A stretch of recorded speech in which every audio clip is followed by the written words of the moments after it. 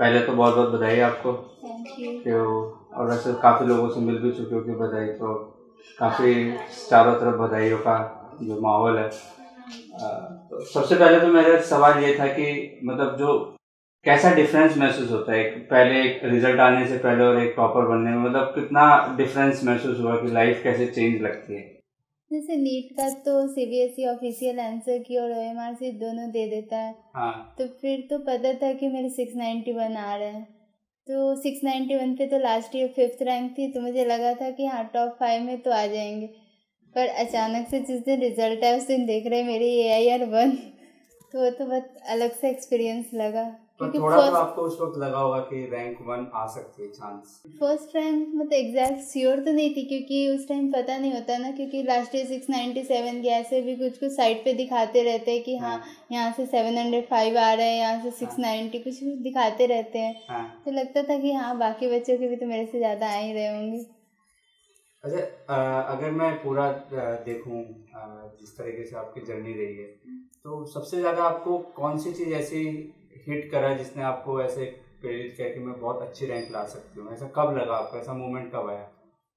जब मैं आकाश का टेस्ट देती थी तो वहाँ पे एक टेस्ट होता है all India Aakash test series तो उसमें जब मेरी रैंक एक बार आई थी फ़र्स्ट रैंक तो उस टाइम मुझे लगा था अच्छा मेरी अगर ट्वेंटी थर्टी थाउज़ेंड में फ़र्स्ट रैंक आ रही है तो अगर मैं बहुत मेहनत की तो मेरी तो अच्छी रैंक आ जाएगी। तो उस टाइम मैं मतलब ऐसे ऐसे अगर टेस्ट में मेरी अच्छी रैंक आती थी तो उससे मैं बहुत मोटिवेट होती थी। कि हाँ अच्छा कर सकते फाइनल एग्ज़ाम्स में भी।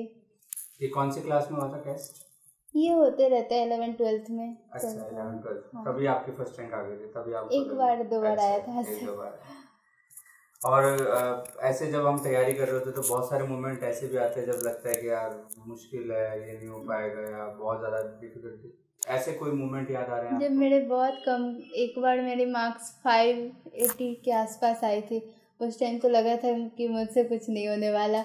और भी बीच बीच में जब लास्ट के, जब मेरा बोर्ड्स के एग्ज़ाम ख़त्म हो गए तो उस टाइम बहुत सारे मॉक टेस्ट देती थी। तो उसमें तो बीच में ऐसा होता था कि तीन चार टेस्ट में मुझे लगातार सिक्स फिफ्टी सिक्स फिफ्टी से ज़्यादा बढ़ता ही नहीं था। मुझे लगता था मेरा तो यहीं पे अटक जाना है फाइनल में भी।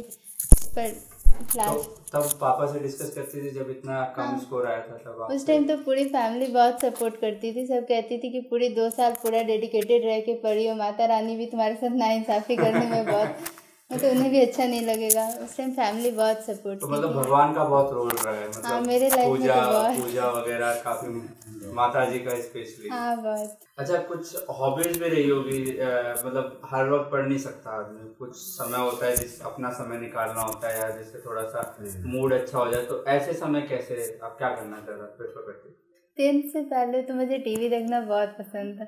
हाँ तो टेंथ में आप उससे पहले टीवी पे ज़्यादा क्या देखना पसंद था? मुझे तो सब कुछ जो भी आ रहा है वो सामने देख लो। अच्छा खो जाने का मन मतलब उसमें खो जाते थे देख देख के। ऐड भी इतने इंटरेस्ट से देखती थी मेरी दीदी कहती थी तो कुछ भी देखती है। प्रचार भी देखती रहती है दीदी। उसके बाद लेकिन एलेवन ट्वेल्थ में मुझे लगा कि नहीं ये दो साल बहुत ज़्यादा इम्पोर्टेंट है। इस टाइम तो बिल्कुल टाइम वेस्ट नहीं करना चाहिए। तो फिर टीवी तो छोड़ दी थी बिल्कुल भी। और बाकी अगर कभी कभी वो जब दिमाग बहुत थक जाता लगता था कि अब सैचुरेट हो गया अब नहीं पढ़ा जाएगा। फिर उस टाइम अपने घर पे अपने दीदी से भैया से सबसे बात करके मुझे बहुत रिफ्रेशमेंट फील होता था। अच्छा बहुत बढ़िया। तो और वैसे कुछ नहीं खेलना या ऐसा कुछ मूवी देख ली या ऐसा कुछ? नहीं कुछ खास तो नहीं खेली इस दो साल में अब खेलने का मन है काफ़ी? हाँ अब तो अच्छा इसमें जैसे आपके ब्रदर और सिस्टर आईआईटी में रहे हैं तो इससे आपको क्या हेल्प मिली? मतलब वो being an IIT in your वो लोग मुझे हमेशा बताते रहते थे कि बच्चों की क्या स्ट्रेटजी होनी चाहिए। जैसे अगर कभी मेरा टेस्ट में कम मार्क्स आता था तो मैं बहुत डिमोटिवेट हो जाती थी। तो उस टाइम वो बोलते थे कि ऐसा होता है ज़रूरी नहीं होता है कि हर टेस्ट में तुम्हारा ही अच्छा है। और भी बहुत सारा टाइम जैसे मुझे बहुत सारे डाउट्स आते रहते थे तो मेरा भैया तो जस्ट आईआईटी किया था। तो उस टाइम उसे सारी फिज़िक्स तो बहुत अच्छे से याद थी तो फिज़िक्स के बहुत सारे डाउट्स बता देता था। और बाकी मेरी दीदी भी मुझे बहुत मोटिवेट करती थी। मतलब सभी एज से गुजर चुके थे तो मुझे बहुत सपोर्ट मेंटल सपोर्ट भी बहुत ज़्यादा मिलता था बाकी डाउट ये सब का तो मिलता ही रहता था। मैं ये पूछना चाह रहा हूँ कि हर टॉपर का एक स्ट्रेटेजी और एक अप्रोच डिफरेंट होता है। सब टॉपर का एक डिफरेंट तरीका होता है, किताब को पढ़ने का या लेक्चर अटेंड करने का नोट्स बनाने का। तो आपका कुछ ऐसे डिफरेंट तरीके से आपने कुछ तैयारी करी थी, कोई खास स्ट्रेटेजी या खास स्कीम जैसे बायो का अगर बात करें तो बायो में तो मेरे सर बोलते थे कि हर लाइन से वो क्वेश्चंस बनाते। तो जैसे मैं एक पैराग्राफ पढ़ती थी, फिर सोचती थी कि वो कहाँ कहाँ से छोटे छोटे वर्ड्स को वो लोग क्वेश्चन के फॉर्म में कर सकते हैं। तो बायो तो मैं बेसिकली बहुत ज़्यादा एन पे फोकस की थी। तो बायो के लिए तो वही हर लाइन हर पैराग्राफ को बहुत ढंग से पढ़ती थी और सोचती थी कि इससे वो लोग क्वेश्चन बना सकते इस टाइप में सोच के बायो बेसिकली पढ़ी।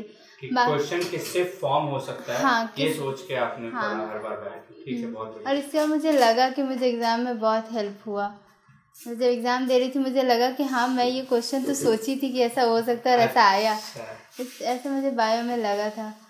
और बाकी फिज़िक्स केमिस्ट्री तो प्रैक्टिस बहुत की फिज़िक्स के लिए कुछ कुछ रेफरेंस बुक भी की थी जैसे D C Pandey H C V ये की थी और एन सी आर टी तो की ही थी। बाकी जो केमिस्ट्री है तो उसमें मुझे ऑर्गेनिक में एलेवेंथ में तो बहुत प्रॉब्लम आती थी। बहुत ढंग से वो लास्ट का टॉपिक होता है तो थोड़े फास्ट हो जाता है। हाँ। तो उस टाइम पे एम एस चौहान की थी ऑर्गेनिक के लिए। बाकी ऑर्गेनिक के लिए तो एन सी आर टी भी मतलब नेम रिएक्शन इन सब के लिए तो सही होता है। और इनऑर्गेनिक के लिए तो बहुत एन टी पे फोकस की।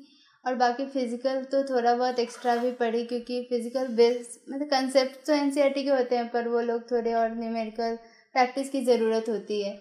और बाकी जो एम्स के लिए मेरा जीके का था तो उसके लिए तो AIIMS for M for AIIMS की जो साइट है, उस पर बहुत सारी पीडीएफ आती रहती है जीके की पर मंथ तो वो देखती रहती थी।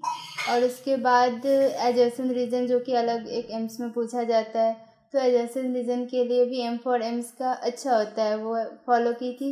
मतलब वो बना के मुझे लगा कि हाँ थोड़े डिफरेंट क्वेश्चन हैं, जिसमें थोड़ा सा ब्रेन यूज़ करना पड़ रहा है। जैसे सुनती थी कि एम्स में आता है तो वो बनाई थी। और बाकी भी बहुत सारी वीडियोस आती रहती थी, जिससे मुझे पता चल सके कि हाँ बच्चे जब एग्ज़ाम दे रहे थे तो उन्हें ऐसा एक्सपीरियंस हुआ। तो वो सब वीडियोस देखती थी थोड़ा बहुत। एक आखिरी सवाल ये रहेगा मेरा आपसे कि आप जो अब जो अगले साल 2019 में जो आप लीड देंगे उनके लिए आपके लिए क्या एडवाइस है कि क्या करना चाहिए और क्या बेहतर रहेगा उनके लिए? मेरे लिए तो मुझे ऐसा लगता है कि मेरा हार्ड वर्क और बस पढ़ाई पढ़ाई पढ़ाई सोचना ही मुझे लगता है मतलब सोचना ही नहीं मतलब मुझे लगता है कि मैं पढ़ाई को बहुत टाइम दी इसलिए शायद माता रानी भी मेरे साथ नाइंसाफ़ी करते हुए मुझे इतनी बड़ी सक्सेस दे दी। तो मुझे लगता है कि इंसान को हार्ड वर्क करना चाहिए, वो अपने आप को जितना डेडिकेट कर सकते हैं, जितना अपना बेस्ट दे सकते हैं, उतना उन्हें देना चाहिए। अगर कभी एग्ज़ाम्स में कम नंबर आ रहे तो उन्हें ये नहीं सोचना चाहिए कि हाँ मेरे से नहीं होगा। पूरी कंसिस्टेंसी के साथ दो ईयर बहुत हार्ड वर्क करना चाहिए। मैं आपसे भी एक सवाल पूछना चाहूँगा। पिता के रूप में। पिता के रूप में आपको क्या लगता है कि क्या चीज़ है जो बहुत ही आपको ध्यान देनी पड़ती है बच्चों के लिए, जब वो एक कंपटीशन की तैयारी करते हैं?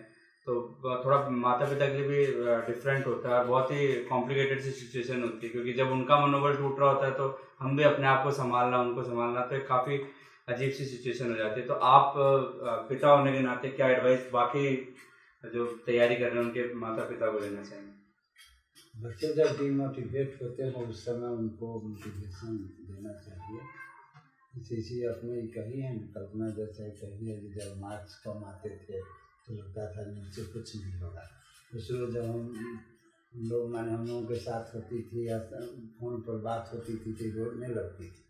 उसको रोने लगती थी। हाँ जो बिल्कुल लगता है कुछ नहीं होगा। जबकि दीदी इसको बहुत मोटिवेट कर चुकी होती थी उसके बाद हम लोग समझाते थे जब मेहनत कर रही हो तो ईश्वर अन्याय नहीं न करते हैं। Labour never labour never go इसमें विश्वास करो। होता है कभी अंतिम परिणाम तुम्हारा अच्छा होगा इतना विश्वास रखो। बराबर यही हम कहते हैं ऑनलाइन ने आपको किस तरीके से सपोर्ट किया? कुछ सपोर्ट किया या डिस्ट्रैक्ट किया? पहला तो सवाल ये होना चाहिए। और अगर किया तो किस तरीके से किया? और डिस्ट्रैक्ट किया तो किस तरीके से किया? ऑनलाइन से मुझे डिस्ट्रैक्शन तो कुछ खास नहीं हुआ। मुझे फ़ायदा ही ज़्यादा हुआ। जैसे मैं व्हाट्सएप अगर यूज़ करती थी तो उस पर मेरा भैया मुझे बहुत सारे लिंक भेजता रहता था। जैसे एम फॉर एम्स की बहुत सारी वीडियोस आती रहती है कि कैसे एग्ज़ाम्स में कौन सी टॉपिक्स थोड़ी इम्पोर्टेंट है। कुछ लास्ट ईयर की जो एम्स में भी स्टूडेंट्स पढ़ रहे हैं, उनकी वीडियोज़ आती रहती है कि हाँ ऐसे ऐसे क्वेश्चन आए थे। तो थोड़ा सा लगता है कि हाँ ज़्यादा रिलायबल होता है वो, क्योंकि वो अच्छे स्टूडेंट्स का वीडियोस होता है तो वो वीडियोस देखती थी। और बाकी भी बहुत सारी आती थी।